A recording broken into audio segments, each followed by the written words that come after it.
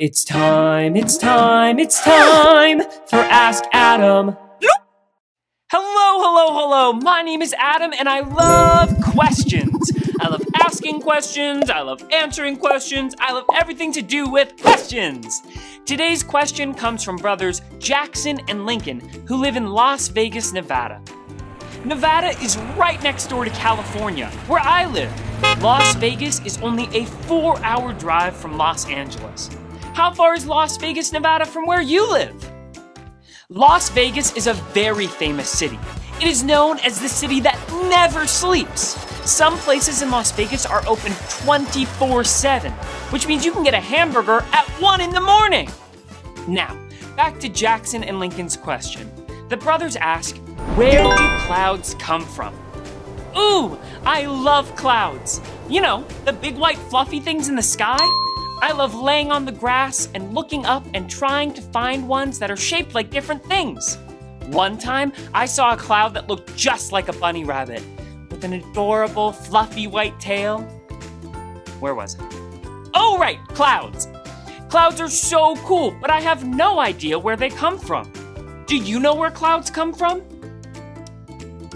Well, in order to answer Jackson and Lincoln's question, I need to put on one of my magic adventure hats, which will give me the knowledge to answer their question and transport us to the clouds. Which of my magic adventure hats should I wear to transport us to the clouds? My weather hat? My cowboy hat? Or my birthday hat? My weather hat! Very good.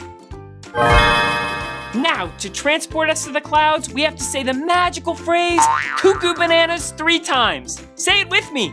Cuckoo bananas, cuckoo bananas, cuckoo bananas. Whoa! Whoa! You did it! We made it! And look at all these clouds. With my magic weather hat on, I can tell you all about clouds. The best place to look at the clouds is somewhere outdoors, like a park or your backyard. I just love laying in the grass and looking up at the sky. Let's try and find something in the clouds. When you see something, shout it out. Let's see. Hmm, I don't think I see anything. Do you see anything? Ooh, look over there. What's that look like? A fish. Very good. Let's keep looking. Ooh, I think I see something else. Do you see it too? It's a bicycle. Nice. Let's look over here now. Okay, I think there's one more. Ooh, I think I see a fruit approaching. Do you see it? What kind of fruit is it? It's an apple. Correct. Great job. Now that we've had our fun, it's time to get serious about clouds. In order to explain where clouds come from, let me introduce you to the water cycle. This is the water cycle. And there are three big words that are a part of the water cycle that I want to introduce to you. They are evaporation, condensation, and precipitation. These three are the three main steps that happen in the water cycle. I will explain how each of these steps are important to how clouds are made. Now our Earth has lots of water on it. Oceans, lakes, rivers. Over 70% of our Earth is covered in water. When the big bright sun heats up the water, the water turns from regular water into water vapor, or as you may know it, steam. You know how when you take a hot shower, the mirror gets all steamy? Well, when the sun heats up the water, the water vapor begins to travel up into the sky. This process is called evaporation. Now, once the water vapor has traveled from the earth all the way up into the sky, it starts to turn back into regular water and collect to form water droplets. These droplets then form together to create clouds. This step is called condensation. So condensation is the step in the water cycle where clouds form. But when too many water droplets collect together, the cloud gets too heavy and begins to release water, like Rain!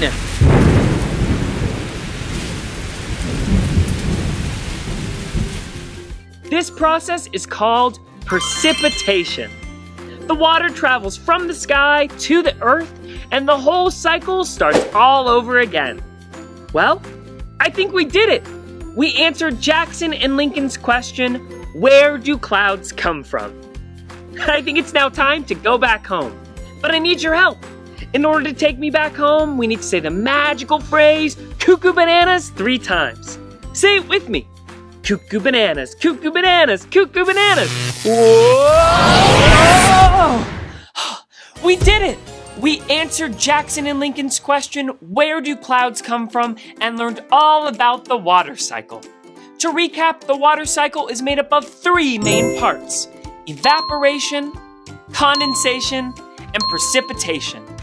Do you remember in which of those stages clouds form? Condensation! Very good. Remember, first, water turns to water vapor in evaporation. Then, once the water is in the sky, it forms together to make clouds during condensation.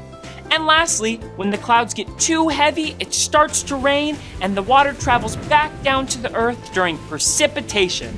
And it happens over and over and over again. What an amazing day filled with gorgeous clouds and lots of questions.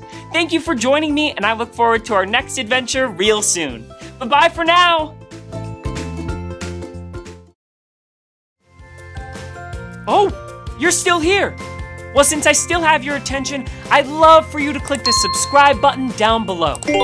Also, use the links in the description to follow us on social media.